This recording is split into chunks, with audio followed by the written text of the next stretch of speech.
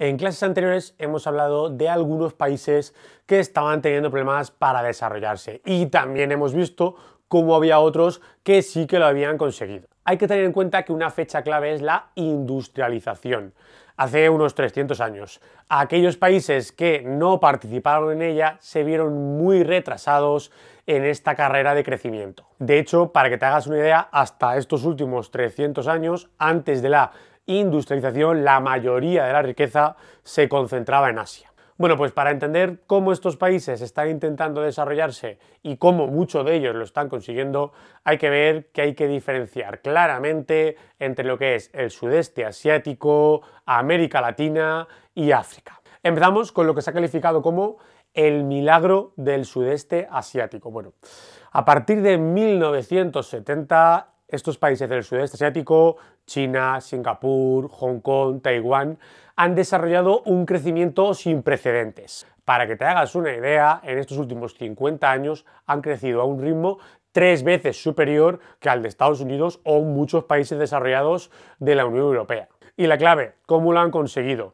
Pues en primer lugar porque tienen elevadísimas tasas de ahorro y este ahorro le ha permitido hacer muchísimas inversiones.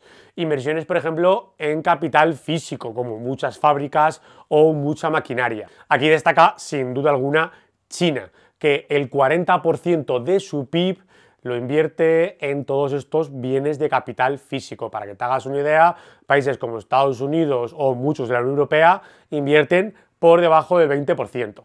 Otra de las claves, grandes inversiones en educación, desarrollando una excelente educación primaria y secundaria, como ha sido el caso de Singapur o Corea del Sur, que son dos de los países con una mejor educación del mundo. Todo esto ha permitido un gran desarrollo del capital humano, que junto al mayor capital físico, el hecho de tener más fábricas, más máquinas, hace que haya una gran productividad y que se traslada en un mayor crecimiento económico. Obviamente nada que ver con lo que ha ocurrido en América Latina. Para que te hagas una idea, hasta el año 1900 América Latina no se puede decir que fuera ni mucho menos un sitio pobre tenía una gran cantidad de recursos naturales y tierras cultivables. Para que te hagas una idea, mucha gente de Europa emigraba a Argentina en busca de una vida mejor. Y entonces, ¿qué ha pasado? Bueno, a partir de 1920 el crecimiento se estancó, principalmente porque sus tasas de ahorro son mucho menores a los que son, por ejemplo,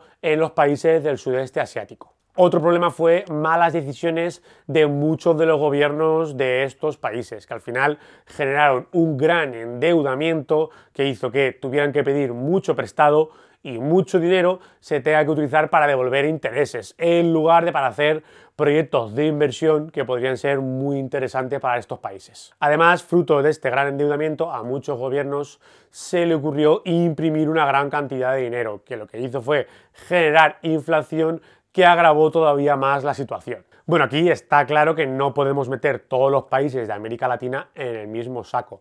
No es lo mismo, por ejemplo, Chile, que ha tenido épocas de muchísimo crecimiento y en el que se han hecho muchas cosas bien, con, por ejemplo, Venezuela, que actualmente tiene una hiperinflación histórica que está llevando a muchos de sus ciudadanos a la más profunda pobreza y que incluso muchos de ellos están teniendo que emigrar a otros países. Pero en cualquier caso, lo que queda claro es que para todos estos países de América Latina todavía queda mucho por hacer para conseguir el gran crecimiento que, por ejemplo, se ha conseguido en el sudeste asiático.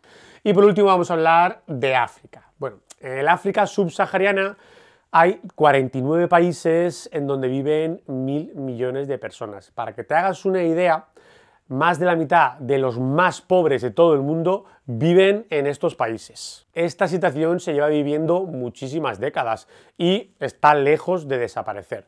Uno de los motivos son los continuos conflictos militares y sociales que se viven en estas zonas. En muchos casos, guerras civiles que dejan tras de sí millones de muertos, en donde acaba poniéndose muchas veces gobiernos con una alta corrupción y en donde se hace imposible que haya ningún tipo de inversión.